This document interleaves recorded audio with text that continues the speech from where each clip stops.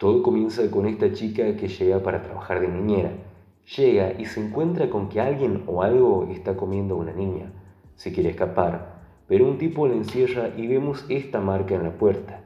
Y así comienza la madre oscura. Ahora nos vamos con Ben, un chico con padres divorciados. Este va a visitar al padre, llega y se pone a trabajar en el muelle de este. Mientras tanto, los vecinos llegan y chocan con un venado.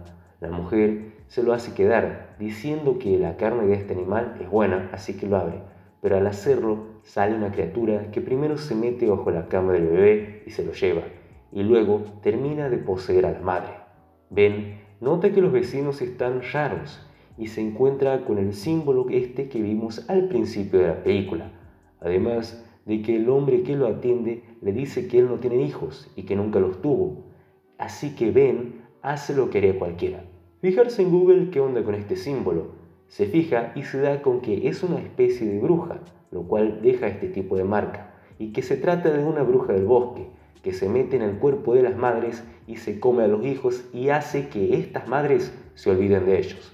Ben parece que va a llegar a hacer algo, pero en vez de hacer algo importante, se va a una fiesta primero, se emborracha y queda como un pelotudo. Pero después va y se encuentra con que el niño ha desaparecido.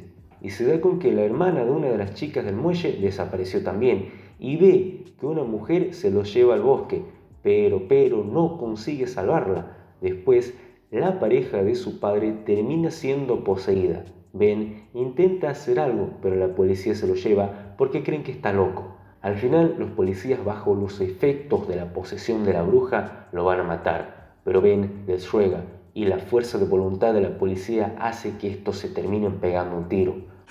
¡No! ¡No!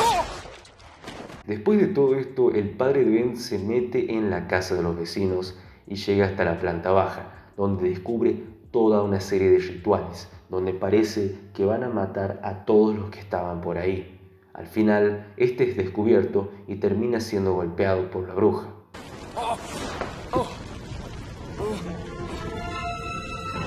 Luego de esto, Ben decide ir con la morocha del muelle y le pide que llene el árbol de sal haciendo un símbolo ante brujas. El tipo se mete abajo del árbol y dentro de aquí se encuentra con los niños que todavía están vivos, así que intenta salvarlos, pero la bruja llega y lo golpea.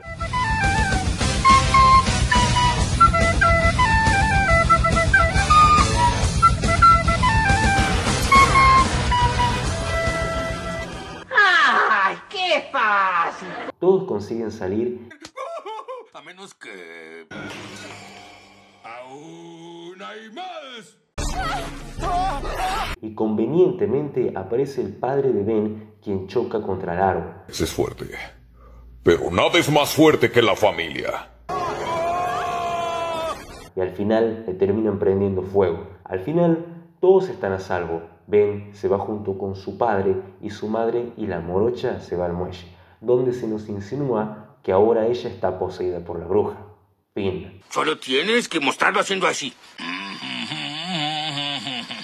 Y el público sospechará del perro. Nadie entenderá lo que sucede, Homero. Desde 2x1 Cinepop Reviews le damos a esta película un 6. Pero si ya la viste, comenta abajo qué te pareció y recomendanos una peli para la próxima. Un saludo para todos los que comentan siempre y para aquellas personas que se suscribieron, un enorme abrazo. Bye.